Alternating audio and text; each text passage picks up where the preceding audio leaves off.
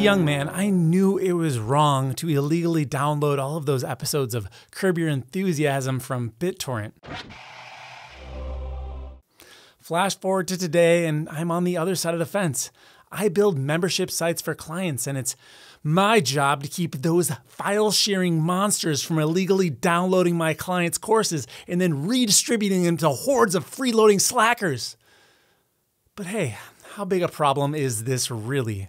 Well, it's big enough for Google to develop Widevine DRM, the solution that none other than Netflix, Hulu, and yes, Larry David's own HBO have chosen as their DRM platform to protect the billions of dollars they spend on creating content. Now, sure, it would be nice to be able to protect the files on my clients' membership sites with that same top shelf encryption, but if you want to get that level of protection, you need to take CWIP training or Certified Widevine Implementation Partner training, obviously. So then you can confidentially and successfully install and configure Widevine systems for clients. Well, that is until today.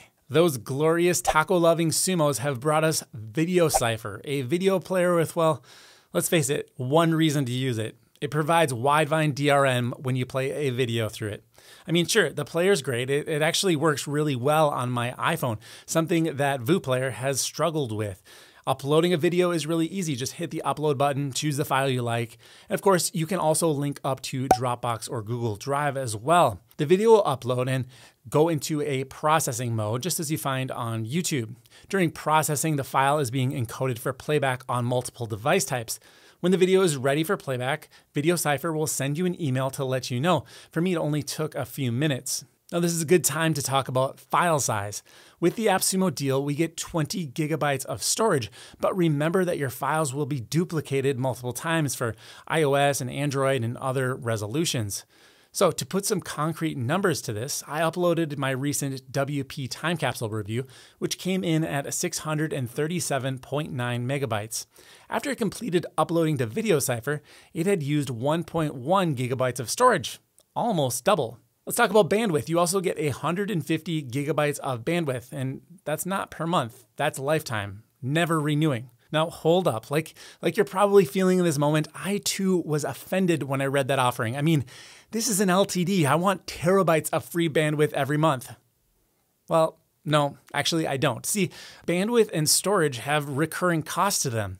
So, for VdoCipher to stick around for the long term, they can't be paying our collective bandwidth bills for the next decade. Instead, I love this plan because it actually shows the founders can maintain a profitable business without having to constantly acquire new LTD customers. They've given us 20 gigabytes of storage for life and 150 gigabytes of bandwidth, but when that bandwidth runs out, it's dry and I have to actually buy more or give them money.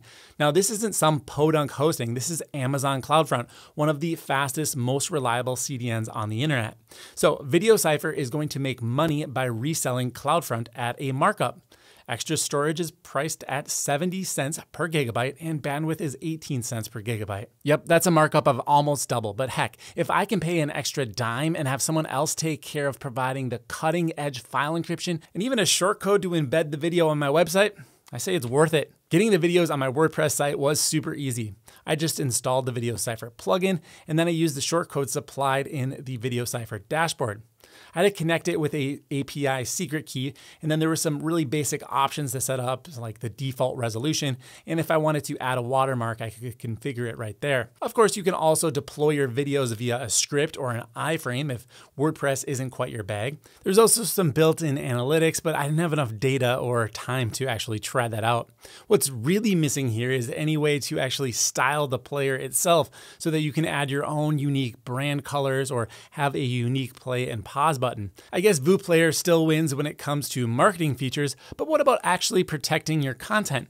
Well, I tried two Chrome extensions. One was called Video Stream Downloader, and another was called Video Downloader Professional, as well as an LTD I got on StackSocial about a year ago called PullTube. Now, PullTube I tested first, and it displayed an error.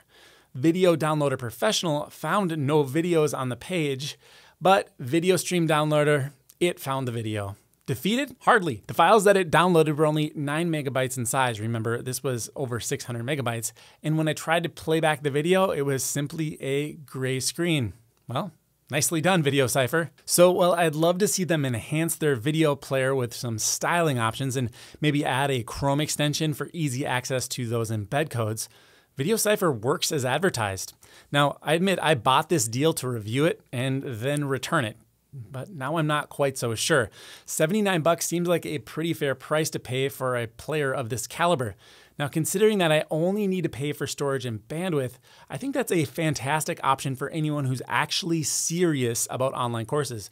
No, you don't need this if you've never sold a course before, but if you already have a profitable online course business or if you're making content that people are actually thinking about stealing, well, then VdoCipher might just be the antidote to your problems. So, in conclusion, I give VdoCipher a 9.2 out of 10. Nicely done. If this review has been helpful to you and you'd like to go on to make a purchase, I'd appreciate it if you click that link in the description. That is our referral link and it does kick us back a little bit of change over here at the channel. If you like this video, make sure you hit that button. More reviews to come this week, so get subscribed, turn on those notifications, and be sure to check out the That LTD Life community over on Facebook. Links in the description. I'll see you in the next review.